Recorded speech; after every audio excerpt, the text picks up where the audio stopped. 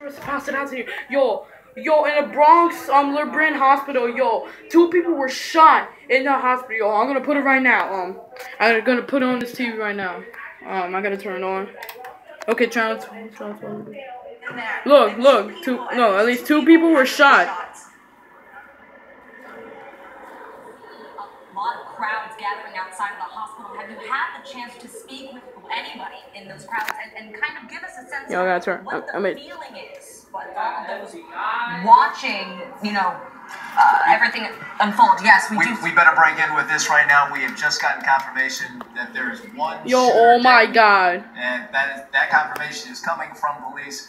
Again, we don't know how many shooters there are, but we do know for a fact. that Look, dude, could have been was ISIS. Killed by police. Could have been terrorists, bro. deceased. and we Oh my also hearing from God. Authorities that there will be a press conference coming up shortly. We will obviously be. Yo, guys, I gotta go. Right on News 12. I want Peace.